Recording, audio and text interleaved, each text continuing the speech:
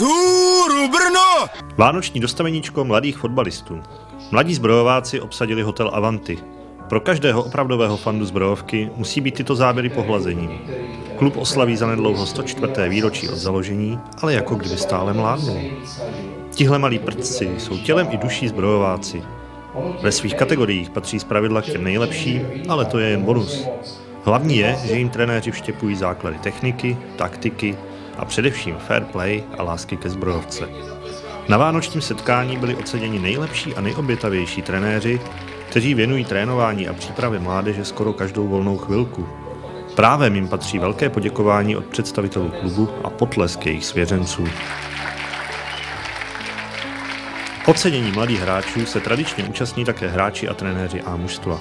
Z každé kategorie je oceněno jen několik hráčů a zajímavostí je, že oceněné si mezi sebou vybírají hráči a hráčky sami. Jmenovat všechny je nad rámec této krátké reportáže, ale spolu s vámi tajně doufáme, že mezi nimi byli noví Kukletové, Jarůškové, Kroupové, Polákové a možná i nějaký Švancara. Na závěr dostal každý hráč několik upomínkových předmětů od svého klubu. Mimo jiné i nový zbrojovácký kalendář na rok 2017. Mnozí z více než čtyř stovek účastníků také využili možnost skočit si pro podpis hráčů a mužstva na malou autogramiádu. A tady je několik krátkých postřehů samotných účastníků. No, jsem rád, že jsem to dostal. Uh, já chytám za zbrojovku, už to bude tak skoro rok, co jsem došla chytat. A vybrali mě, nedávno mě vybrali do české repre za U15. A s zbrojovkou příští sezónu budu se snažit to vychytat všechno, abych měla čistý konto. A doufám, že s holkama vyhrajeme a obsadíme nějaký první místo. Ve zbrojovce jsou od roku 1962. Fotbal mě určitě neunavuje, ale řeknu takhle poctivě, že byla výhoda, že se změnil svoje řeknu povolání, že už jsem byl trenérem a že jsou teďka už šestý rok sekretářem a je to o něčem jiným, ale myslím si, že mě to tak hodně naplňuje, že mě to hrozně baví. Se sezónou jsem spokojený, eh, s týmem, moc děkuju za tým, za trenéra.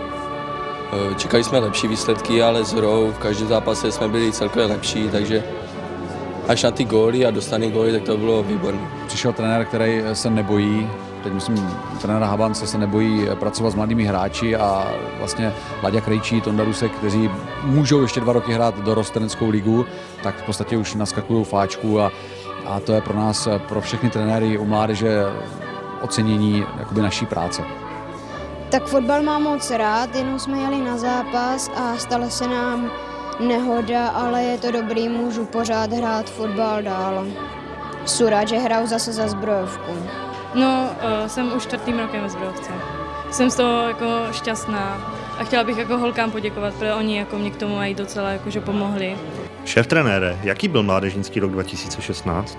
Z mého pohledu určitě nejúspěšnější za období, co jsem tady, to znamená od roku 2012, protože v podstatě se podařilo trenérovi Habancovi zapracovat do týmu tři až čtyři hráče, kteří prošli v posledních letech mládežnickými kategoriemi a vlastně to byl a je stále a ten nejdůležitější cíl, který jsme si eh, jako vedení klubu a i vedení mládeže dali.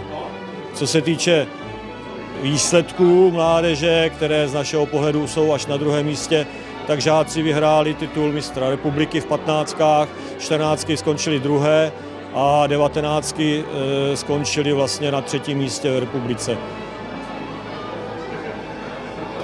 Schnitt